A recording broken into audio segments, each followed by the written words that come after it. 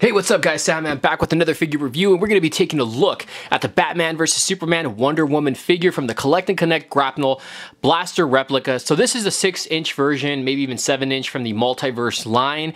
Wonder Woman is the harder figure to get. So when they, uh, when these figures, figures first hit stores, um, several Toys R Us's I went to and they opened up the boxes several of the multiverse boxes and they had no Wonder Womans to be found. That was a few Toys R Us's I went to.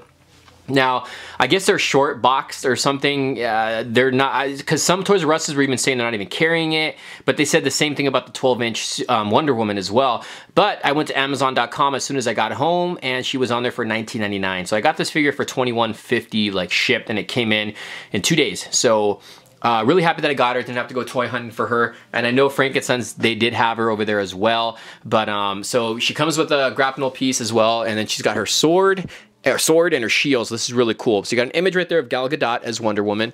Right there on the side as well. You got Gal Gadot.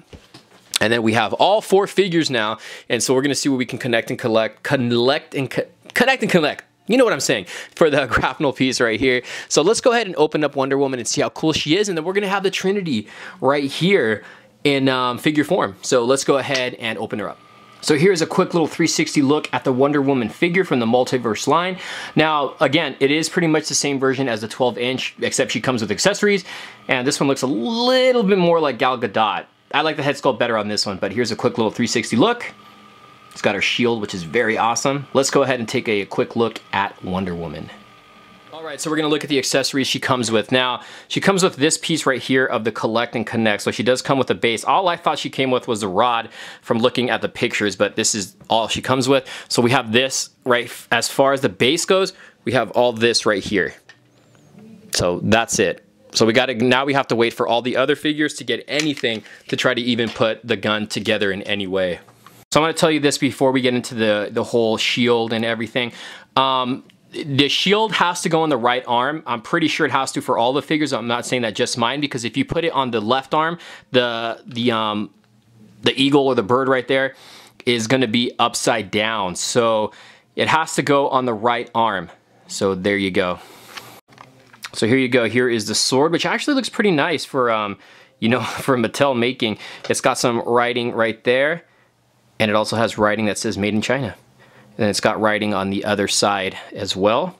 It's not sharp at all. Well, it's a little sharp, but you can break it if you bend it. And then there's the, um, the handle right there. You can see that has a little bit of detailing as well. So that's pretty good. And she does hold this very nicely. Shield is something I really like. Now this has some really good detailing on it, especially especially like in the rim. You can see it's got some like writing and stuff. And this is all texture. This is all sculpted. Like everything about it is sculpted. So it's got very, very nice detailing on it. And then she has this on the back right here, which is also great. So this is all sculpted on, very cool. So her hand goes through here and then she grips on this part at the end. So very cool. But look at the, the paint applications and everything on this, man. They're just very, very nice. So the shield is a really cool piece. So here is Wonder Woman. Not a bad looking figure. I still can't really say it looks like Gal Gadot, but um, you know, it is what it is. It, it, to me, it looks better than the 12 inch version because the 12 inch one did not look like her at all. But um, the head sculpt looks great. So you got like her tiara right there up top. It's all sculpted, so it looks great. And then you have the um, the hair sculpting on here. The hair is sculpted very nicely as well. So it's going to be the same exact thing as the um, 12 inch version. So I'm trying to see, I'm pretty sure this is not gonna be able to turn her head because of the hair. Nope. It's not even a really soft material, it's just plastic. So you're not gonna be able to get her head in any kind of, um, you can't get it to turn, but she's got lipstick on. Nice, nice facial features, I guess. And then you have her straps all right here, which is all sculpted separately, much like the 12 inch version. And I'm pretty sure if you wanted to, you can put the sword right through here Hopefully it doesn't break. Yeah, I think you can put the sword there. It looks pretty good. So you got a little strap right there for the sword, but I don't think there's anything to put the shield on or to mount on like on her back or anything. But again, so all this is sculpted on. You got the lasso of truth right there. Maybe eventually um, Mattel will give us one of her maybe using one or something once we see, you know, more of the film. Um, you got the little skirt right here with the W, so that's all sculpted on there as well. It's a great looking figure, man. I mean, even the, the, the top part of her outfit, you can see all the designs that are sculpted on. So very, very cool. So she shows a lot of skin. Uh, you have right here the entire arm and some of the, uh, you know, the, the arm bracelets she has there and the forearm guard, the wraps around the hands. And then here, right here, you can see the straps on them. And then there's this arm right here. So again, you can see some of the, the detailing on them. So that's pretty cool. But the outfit is very nice. On this, you can see the little design right here where the lasso of truth is. And then right here is a back shot of her skirt. Just so you guys can get a close-up like on the on the designs on it. You guys can appreciate it. It is a very nicely sculpted figure. And then you have the lower legs right here and then the boots. Very high boots. She does have like knee pads it looks like because in the back you can see there is um, sculpting, or I'm not sculpting, I'm sorry, straps. And then you can see the straps on the boots. And she also has skin showing on the side of the boots right there. So you can see there is some straps that are holding it together. And then the top, a look at the boots. And the bottom, no, no, uh, no um, peg holes. But she does have some uh, really cool detailing also in the boots. You can see all that right there.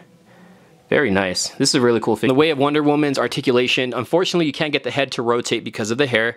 Um, the arms do go in and out, forward and back. You got rotation at the upper arm, a bend at the elbow, lower arm rotation, and the hand can rotate. Rotation at the waist. Legs go, they don't go in and out too much. They go forward and back, bend at the knee, mid-leg rotation, and the foot goes up and down. So kind of limited in articulation, but I mean, she still looks cool, but I think you would want Wonder Woman to have a little bit more articulation. So here you have a kind of like a side-by-side -side look at the 12-inch version and the 7-inch um, uh, version right here, a little comparison of the head sculpt.